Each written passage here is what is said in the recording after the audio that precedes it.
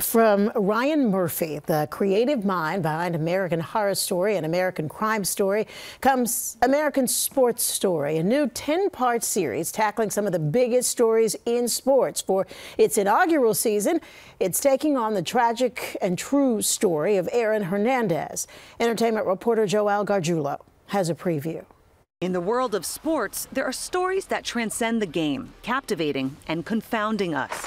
A murder charge and five weapons charges. FX is bringing one of the most shocking and tragic ones in recent NFL history to the small screen. Hernandez!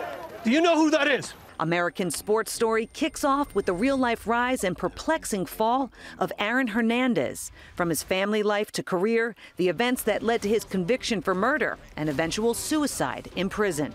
You don't know the kind of thoughts I have.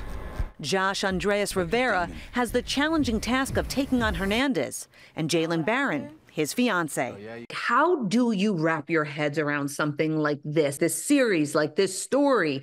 Because as actors, this has got to be one of the best scripts that you could sink your teeth into. However, the fact that this is an actual story, the sensitivity, the challenges upon challenges, like how do you approach it? You you brought up basically almost verbatim my inner monologue when I got cast. I mean, it is like it is a massive undertaking. There's so many layers and like complexities that you have to kind of you know juggle. For me, that was actually really tough because she's alive and well, and I and you know constantly trying to make sure that you're being truthful to her personality or her love for him or anything like that.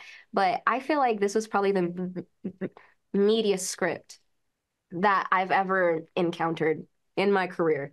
Wherever you go now, people are watching you. You can't make mistakes, Aaron.